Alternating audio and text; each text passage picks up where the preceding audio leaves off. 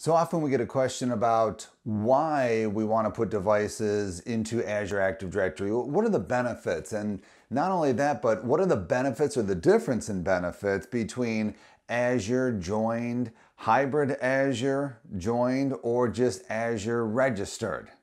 So that's what we're going to go over today in this quick video.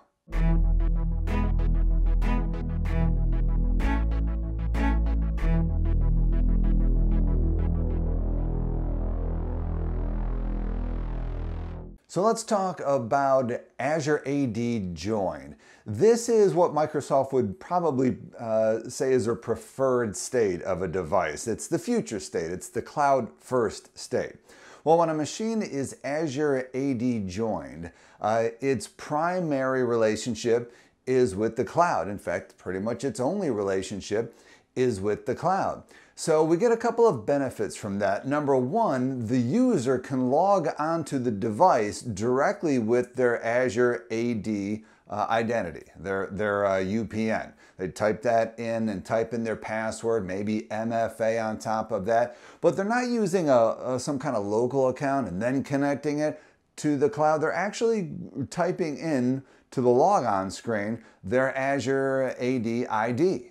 So that's one benefit right there. Another benefit when you Azure AD join a device uh, to the cloud like this is the administrators group, the local administrators group, gets actually a couple of uh, IDs added to it. One in both of them are for roles. One of the roles is the global administrators role. So anyone who is a global administrator in Azure Active Directory for your tenant will be an administrator on that device. Also anyone who is a device administrator, this is another role in Azure Active Directory, they also are added to the local administrators group on these Azure AD join devices, so they'll also be able to administer it.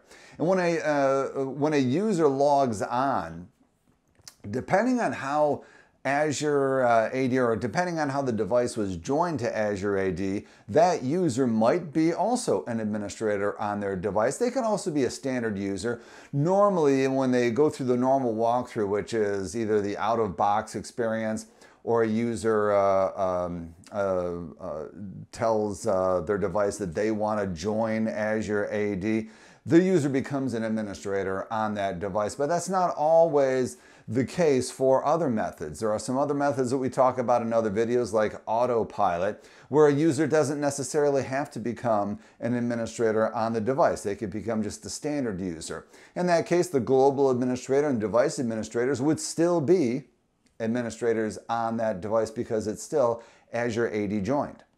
A couple of other advantages to Azure AD joining your device.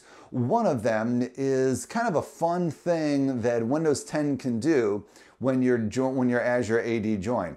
If the account you're logging in as happens to be an existing account also on-premise, and, and by that I mean you're using the same username and UPN, if that's the case, then even though the device is not joined to the on-premise domain, the uh, Azure AD can pull a little trick where it can actually go to the domain controller on premise and get a Kerberos ticket for that user. So if their names are the same, their passwords will probably be the same because more than likely we are replicating or syncing these IDs from on-premise to the cloud.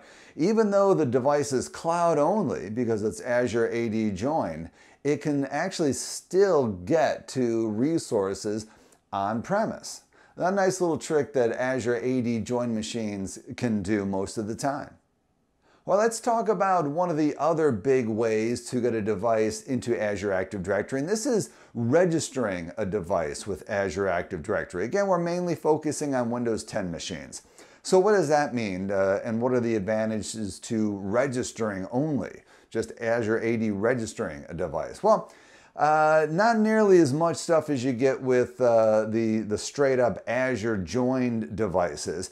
Uh, first of all, someone is going to have to log onto the machine first and then uh, register the device through settings. Now, whoever's logging onto the machine, they'll always log on to that machine from the logon screen. They won't use their Azure credentials from the logon screen. So it's always a, a dual logon or a secondary logon that gets them connected to Exchange or, or SharePoint or Teams or, or whatever else. So the user is always going to log on either with a local account that's in the SAM database of the Windows 10 device or even a Microsoft account. This is a consumer uh, Microsoft account, even that. So they're always going to log on as that. It might even be a domain account if they're on a domain. So they log on uh, uh, to the logon screen with that account. And then uh, they are secondarily connected to all their applications because of this other account that they added to the settings um, and which registered their device with Azure Active Directory. So that uh, registration does get them a little bit of single sign-on and can so they don't have to keep on typing in their password, username and password for every service that they go to Exchange, SharePoint, Teams, or whatever. So there is a little bit of advantage in that, but they cannot get back to on-premise resources, that trick that Azure Active Directory devices do, the, the actual join devices. That doesn't work for registered devices. And of course, you can't log on as your actual Azure Active Directory ID directly to the device. Also, the global admins and device admins from your tenant, they're not added to the local administrators group on a registered device. So that doesn't happen. Okay, what about the third one, the hybrid Azure AD join device? Well, this is actually uh, the best of both worlds. The device is uh, already joined to an on-prem or on-premise Active Directory, so they enjoy all the benefits of being joined that way. Users can log on to them, they get access to all the stuff they have access to on-premise, file servers or whatever.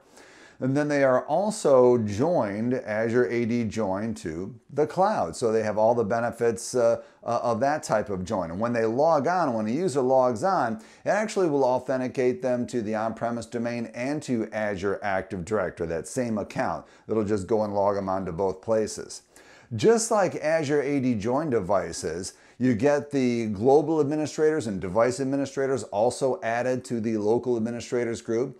And don't forget that since that device, this hybrid device, is also uh, joined to an on-premise domain, then our domain admins group from the domain is also added to the local administrators group. So we have uh, kind of the best of both worlds. It's a machine that's joined on-premise and it's also a machine that's uh, Azure AD joined. So it's, it's pretty much both. It's not somewhere in the middle. It's, it's actually both. So let's end with how do we tell if a device, a Windows device, is actually Azure AD joined, hybrid Azure AD joined, or just Azure AD registered?